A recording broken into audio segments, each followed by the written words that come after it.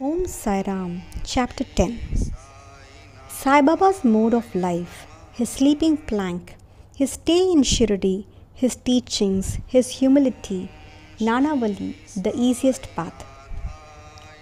Remember him, Sai Baba, always with love, for he was ever engrossed in doing good to all and always abided in his self.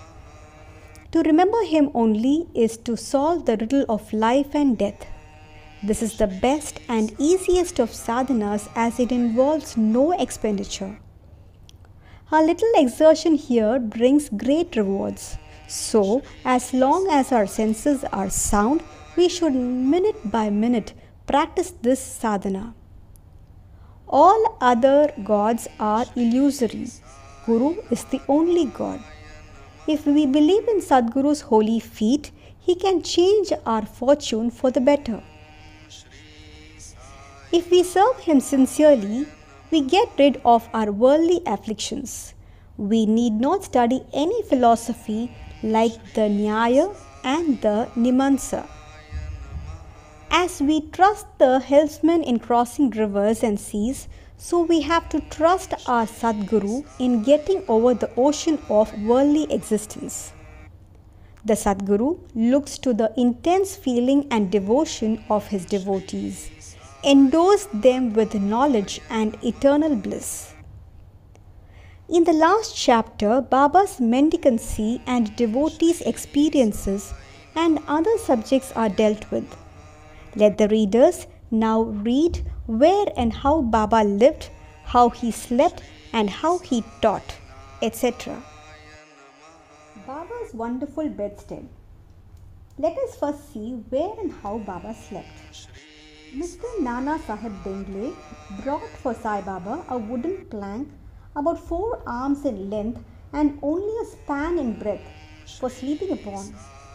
Instead of keeping the plank on the floor and then sleeping on it, Baba tried it like a swing to the rafters of the masjid with old shreds or rags and commenced to sleep upon it.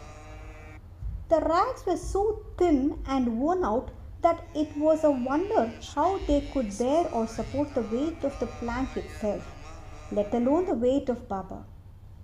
Baba somehow or rather it was Baba's sheer leela that the worn out rags did sustain the plank along with the weight of Baba on it. On the four corners of this plank, Baba lighted panatis, earthen lamps, one at each corner and kept them burning the whole night.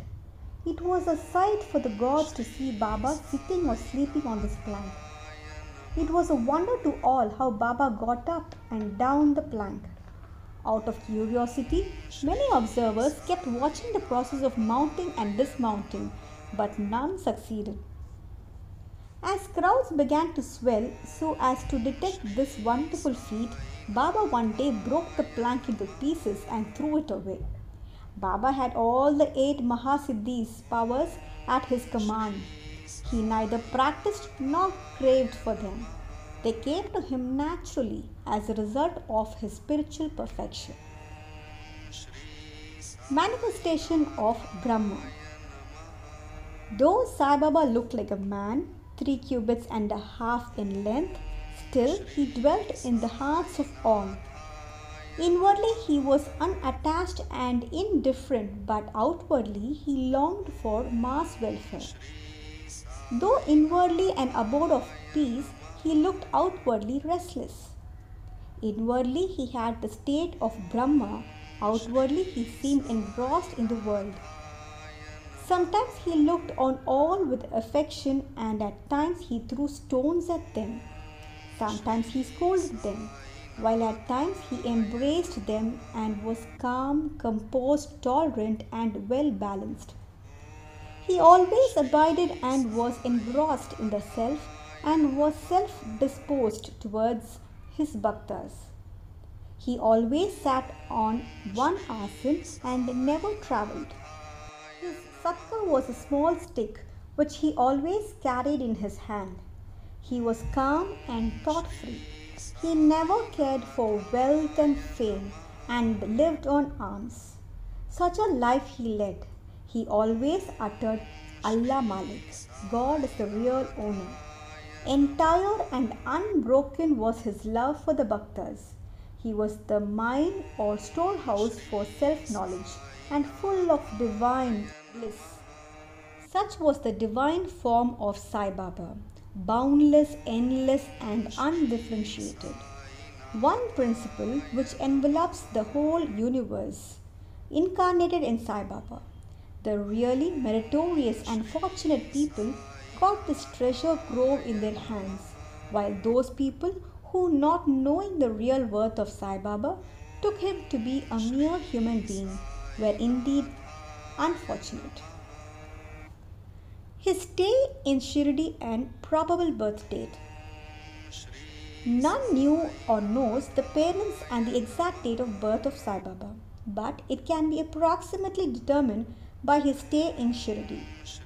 Baba first came to Shirdi when he was a young lad of 16 and stayed there for three years. Then, all of a sudden, he disappeared for some time. After some time, he reappeared in the Nizam state near Aurangabad and came to Shirdi again with the marriage party of Chand Patil when he was about 20 years old.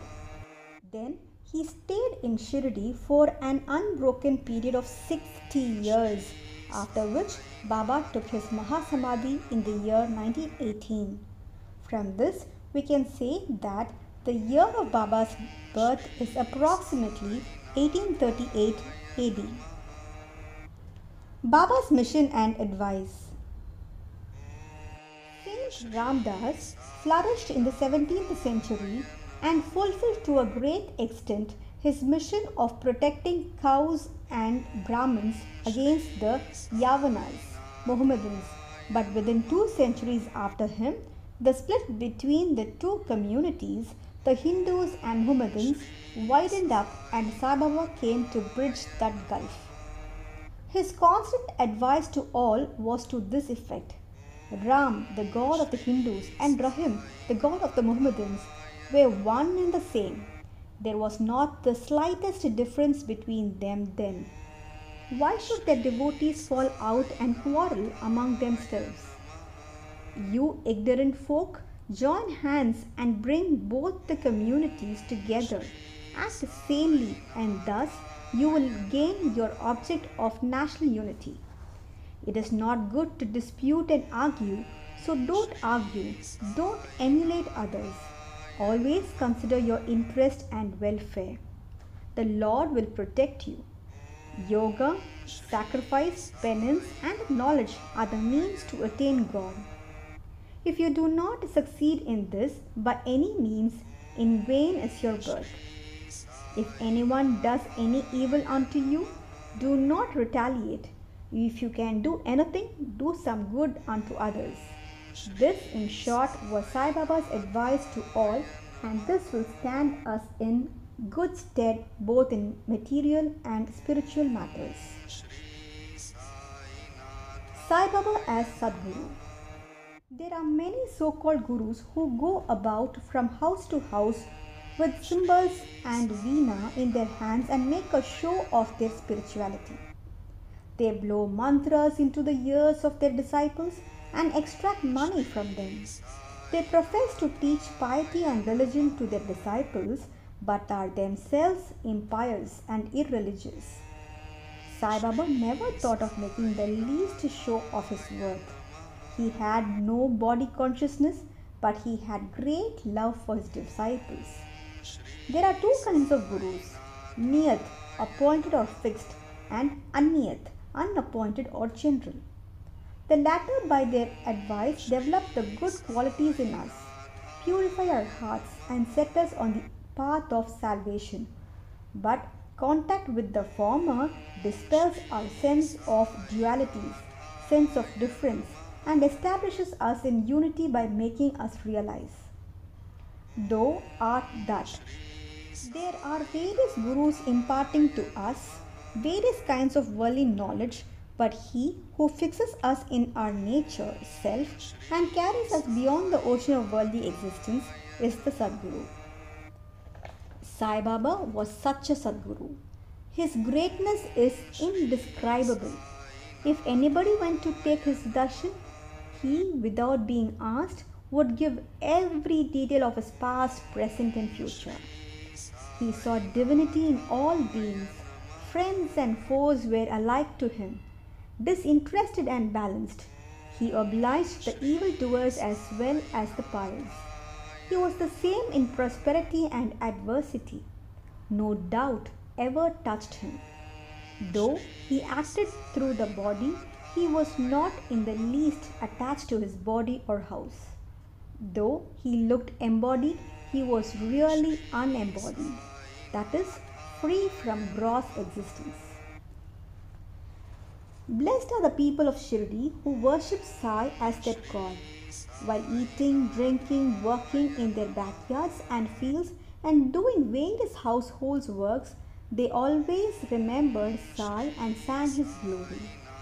They knew no other God except Sai. What to speak of the sweetness of the love of the women of Shirdi? They were quiet, ignorant, but their pure love inspired them to compose poems or songs in their simple rustic language. Letters of learning they had none. Still, one can discern real poetry in their simple songs. It is not intelligence but love that inspires real poetry as such. Real poetry is the manifestation of true love, and this can be seen and appreciated by intelligent listeners. Collection of these folk songs is desirable, and by Baba's wish, some fortunate devotee may undertake the task of compiling and publishing these folk songs either in the Sai magazine or separately in a book. Baba's humility. Lord or Bhagwan is said to have six qualities like fame, wealth, non attachment, knowledge, grandeur, and liberality. Baba had all these in him. He incarnated in flesh for the sake of bhaktas. Wonderful was his grace and kindness, for he drew the devotees to him, or how else could one have known him? For the sake of his bhaktas, Baba spoke such words the goddess of speech could not utter. Here is a specimen. Baba spoke very humbly as follows Slave of slaves, I am your debtor. I am satisfied at your darshan. It is a great favor that I saw your feet. I am an insect in your excreta. I consider myself blessed thereby. What humility is this? Though outwardly Baba seemed to enjoy sense objects, he had not the least flavor in them, nor even the consciousness of enjoying them.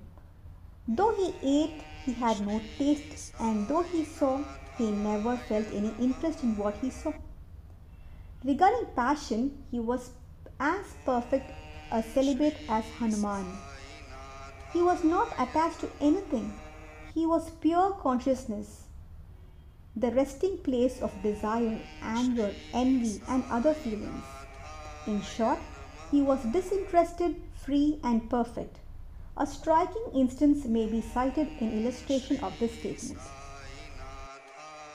Nanavali. There was in Shirdi a very quaint and queer fellow by name Nanavali. He looked to Baba's work and affairs. He once approached Baba, who was seated on his gaddi seat, and asked him to get up, as he wanted to occupy the same. Baba at once got up and left the seat which he had occupied. After sitting there a while, Nanavali got up and asked Baba to resume his seat. Then Baba sat down and Nanavali fell at his feet. Baba did not show the slightest displeasure in being dictated to or ousted. This Nanavali loved Baba so much that he breathed his last on the 13th day of Baba's Mahasamadhi. The easiest path.